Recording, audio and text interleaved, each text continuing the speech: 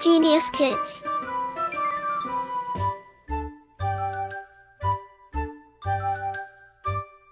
Cultivating love for learning.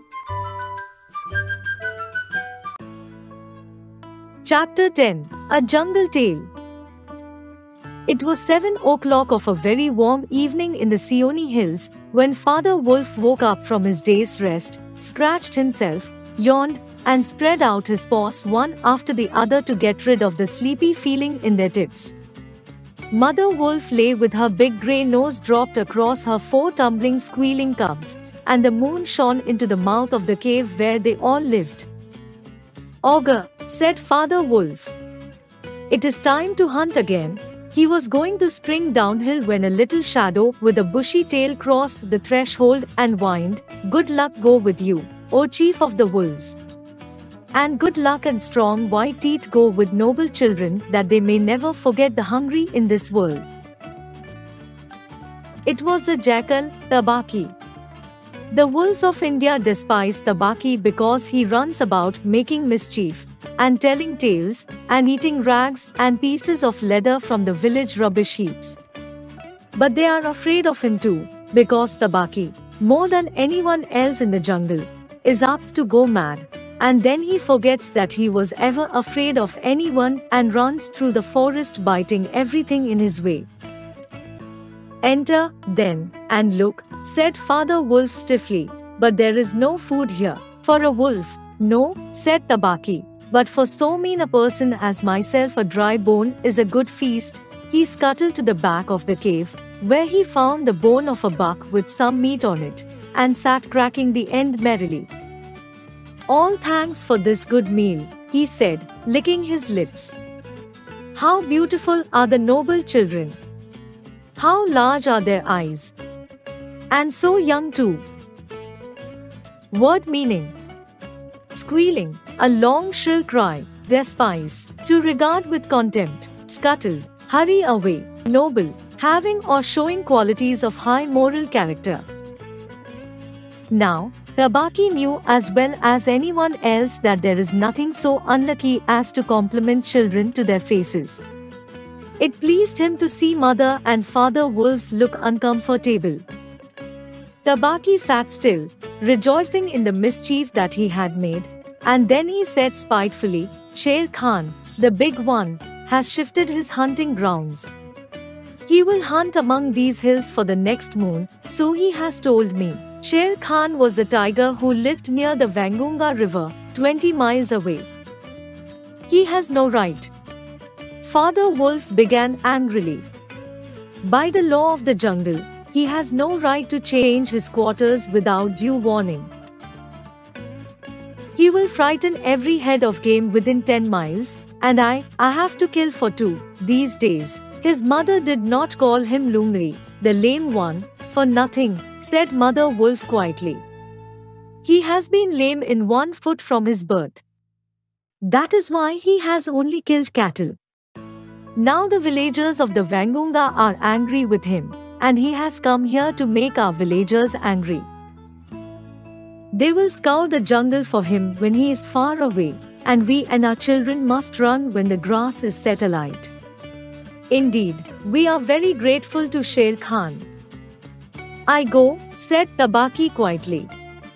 You can hear Sher Khan below in the thickets. Father Wolf listened, and below in the valley that ran down to a little river he heard the dry, angry, snarly, sing-song whine of a tiger, who has caught nothing and does not care if all the jungle knows it. The fool, said Father Wolf. To begin a night's work with that noise. Does he think that our bucks are like his fat Waingunga bullocks? Hosh! It is neither bullock nor buck he hunts tonight, said Mother Wolf. It is a man. The whine had changed to a sort of humming purr that seemed to come from every quarter of the compass. It was the noise that bewilders woodcutters and gypsies sleeping in the open and makes them run sometimes into the very mouth of the tiger. Man, said Father Wolf, showing all his white teeth. Huh? Are there not enough beetles and frogs in the tanks that he must eat a man, and on our ground too? The law of the jungle, which never orders anything without a reason, forbids every beast to eat a man, except when he is killing to show his children how to kill, and then he must hunt outside the hunting grounds of his pack or tribe. Word meaning Mischief, naughtiness, alight, shining, snarly, tangled, bewilders, to perplex or confuse.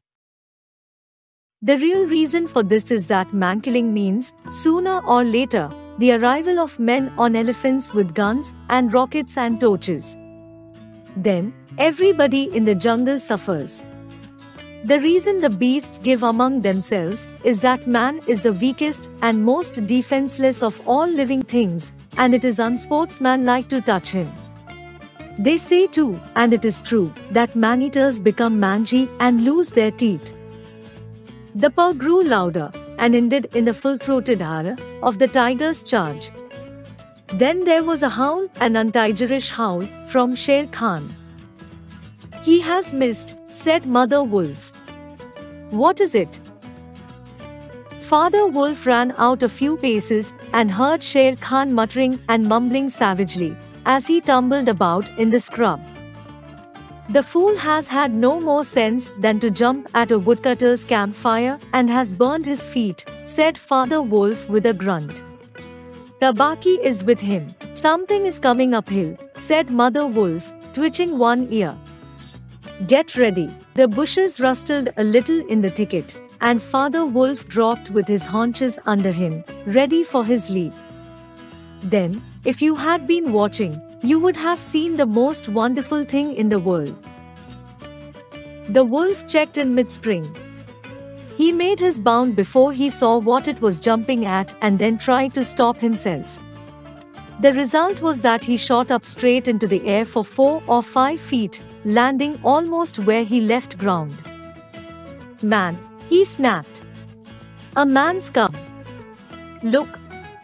Directly in front of him, holding on by a low branch, stood a naked baby who could just manage to walk, as soft and as dimpled little atom as ever came to a wolf's cave at night. He looked up into Father Wolf's face and laughed. Is that a man's cub? said Mother Wolf. I have never seen one. Bring it here.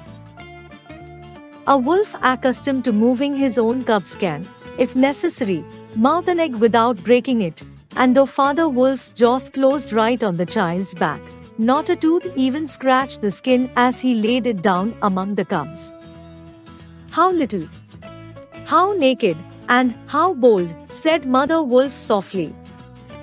The baby was pushing his way between the cubs to get close to the warm hide. So, this is a man's cub. Now, was there ever a wolf that could boast of a man's cub among her children? I have heard now and again of such a thing, but never in our pack or in my time, said Father Wolf. But see, he looks up and is not afraid. The moonlight was blocked out of the mouth of the cave, for Sher Khan's great square head and shoulders were thrust into the entrance. Tabaki, behind him, was squeaking, My lord, my lord, it went in here. Sher Khan does us no great honor, said Father Wolf, but his eyes were very angry. What does Sher Khan need? My quarry. A man's cub went this way, said Sher Khan. Its parents have run off. Give it to me. Word meaning Mangy, suffering from mange, muttering, speaking indistinctly in low tune, twitching, pulled with a jerk, boast, an expression of self praise. He will frighten every head of game within 10 miles, and I, I have to kill for two, these days. His mother did not call him Lungri, the lame one, for nothing, said Mother Wolf quietly. He has been lame in one foot from his birth. That is why he has only killed cattle. Now the villagers of the Waingunga are angry with him, and he has come here to make our villagers angry. Sher Khan had jumped at a woodcutter's campfire, as Father Wolf had said, and was furious from the pain of his burned feet. But Father Wolf knew that the mouth of the cave was too narrow for a tiger to come in by. Even where he was, Sher Khan's shoulders and forepaws were cramped for want of room, as a man's would be if he tried to fight in a barrel. The wolves are free people, said Father Wolf. They take orders from the head of the pack, and not from any striped cattle killer. The man's cub is ours, to hunt if we choose. What talk is this of choosing? It is I, Sher Khan, who speaks. The tiger's roar filled the cave with thunder. Mother Wolf shook herself clear of the cubs and sprang forward, her eyes, like two green moons in the darkness, facing the blazing eyes of Sher Khan. And it is I, Raksha, the demon, who answers. The man's cub is mine. He shall live to run with the pack and to hunt with the pack, and in the end, he shall hunt you. Father Wolf looked on, amazed. He had almost forgotten the days when he won Mother Wolf in a fair fight from five other wolves, when she ran in the pack and was not called the demon for compliment's sake. Sher Khan might have faced Father Wolf, but he could not stand up against Mother Wolf, for he knew that where he was she had all the advantage of the ground and would fight to the death. So, he backed out of the cave mouth growling, and when he was clear, he shouted, Each dog barks in his own yard. We will see what the pack will say to this fostering of man cubs. The cub is mine and will come to me in the end. Mother Wolf threw herself down panting among the cubs, and Father Wolf said to her gravely, It's true what Sher Khan said. The cub must be shown to the pack. If they disapprove, Will you still keep him? Keep him, she gasped. He came naked, by night, alone and very hungry, yet he was not afraid. Look, he has pushed one of my babes to one side already. And that lame butcher would have killed him and would have run off to the Waingunga while the villagers here hunted through all our lairs in revenge. Keep him? Assuredly, I will keep him. Lie still, little frog. O you Mowgli, for Mowgli, the frog, I will call you. The time will come when you will hunt Sher Khan as he has hunted you. Rudyard Kipling. Word meaning Cramped, restricted, narrow, growling, to make a low threatening sound, fostering, bringing up or rearing, panting, to breathe rapidly or heavily, like, share and subscribe.